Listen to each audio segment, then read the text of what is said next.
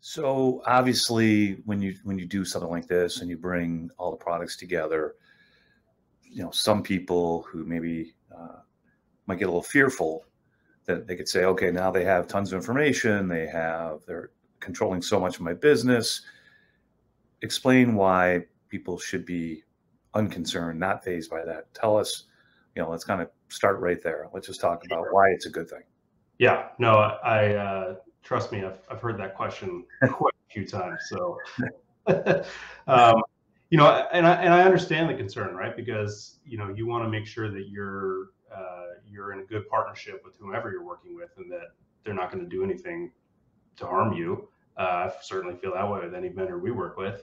But the reality is, at the end of the day, with Storable, you have to think about it from our perspective a little bit.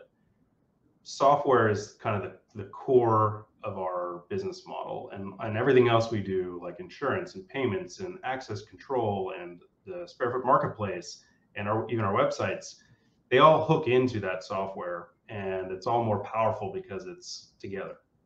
Well, if we ever did something that made you not trust us or made you feel like we were getting between you and the business you should have or you know whatever people can dream of then you would just leave us. You would leave our software platform. There are other alternatives out there and you'd go to them. And so we'd be completely shooting ourselves in the foot